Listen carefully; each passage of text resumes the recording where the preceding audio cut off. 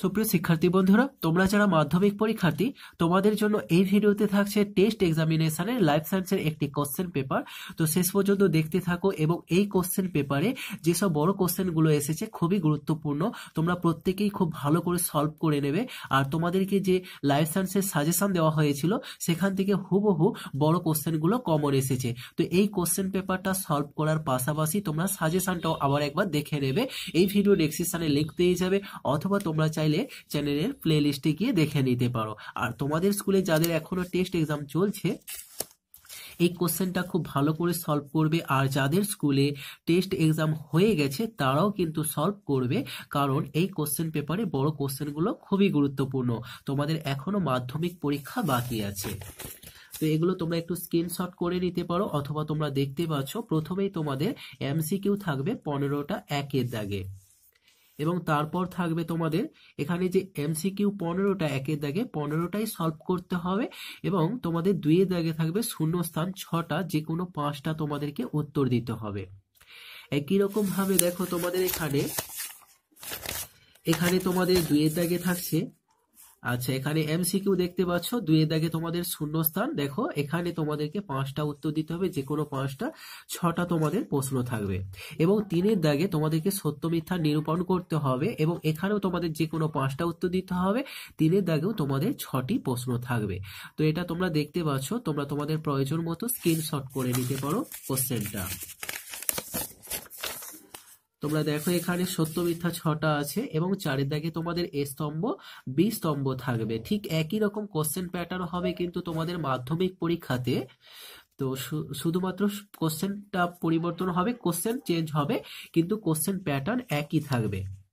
এই কোশ্চেনটা তোমরা ভালো করে প্রত্যেকেই সলভ করবে। দেখে নাও, পাঁচের দাগে তোমাদের একটি শব্দে বা একটি বাক্যে উত্তর দিতে হবে এবং যে কোনো ছটা।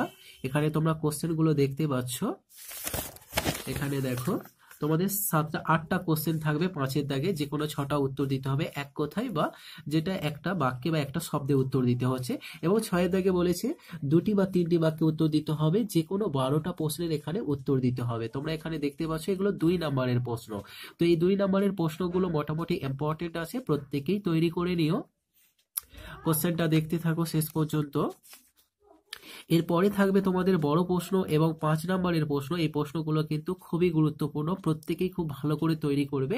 তোমাদেরকে চিত্রের সাজেশন দেওয়া হয়েছিল, যেখানে মাত্র তিনটি চিত্র আলোচনা হয়েছিল এবং তার মধ্য থেকেই কিন্তু এই কোশ্চেন পেপারে চিত্র কমন এসেছে।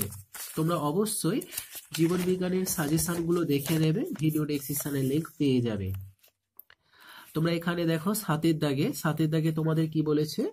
যে যে কোনো পাঁচটা তোমাদের উত্তর দিতে হবে এবং বিকল্পগুলো লক্ষণীয়। প্রত্যেকটার জন্য তোমাদের, এখানে ছটা উত্তর দিতে হবে, পাঁচটা না ছটা, প্রত্যেকটার জন্য পাঁচ নাম্বার করে থাকছে। এখানে দেখো তোমাদের প্রথমে এখানে একটা মাইটোসিস কোষ বিভাজনের মেটাফেজ দশার চিত্র আছে, তো এই চিত্রটাও তোমাদেরকে সাজেশন হিসাবে দেওয়া হয়েছে এবং আদর্শ নিউরন এটাও তোমাদেরকে সাজেশন হিসাবে দেওয়া হয়েছে।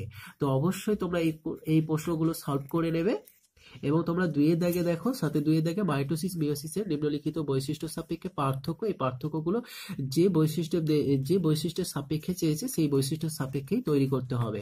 অথবা দিয়ে বলেছে, দেখো, প্রাকৃতিক অঙ্গজনন, এখানে তোমরা বুঝে নেবে, এই যে বড় প্রশ্নগুলো, দেখো, সাতের একে এই প্রশ্নটা আছে, অথবা দিয়ে আছে, তাহলে যে কোনো একটা, ঠিক একই রকম ভাবে কিন্তু প্রত্যেকটা দাগে থাকবে। দেখো, সাতের দুই একটা প্রশ্ন আছে, অথবা দিয়ে আবার একটা প্রশ্ন আছে, তাহলে দুটো যে কোনো একটা তোমরা উত্তর দেবে, এবং তার জন্যই থাকবে তোমাদের কিন্তু পাঁচ নাম্বার। আর ঠিক এই একই রকম কোশ্চেন প্যাটার্ন তোমরা মাধ্যমিক পরীক্ষাতেও পাবে। প্রাকৃতিক অঙ্গজননের তিনটি পদ্ধতি আলোচনা করো। একটি জনিত্রী জীবের তুলনায় দুটি জনিত্রী জীবের মাধ্যমে সম্পন্ন মাধ্যমে সম্পন্ন জনন জনন অধিক গুরুত্বপূর্ণ কেন বলে মনে হয়? এবং তারপরে দেখো, তোমাদের এই যে কোশ্চেনটা, একটি কোষচক্রের বিভিন্ন বিন্দুতে স্বাভাবিক নিয়ন্ত্রণ নষ্ট হলে কি ঘটতে পারে? জীবের বৃদ্ধি, প্রজনন, ক্ষয়পূরণ কীভাবে কোষ বিভাজন দ্বারা নিয়ন্ত্রিত হয় তা বিশ্লেষণ করো।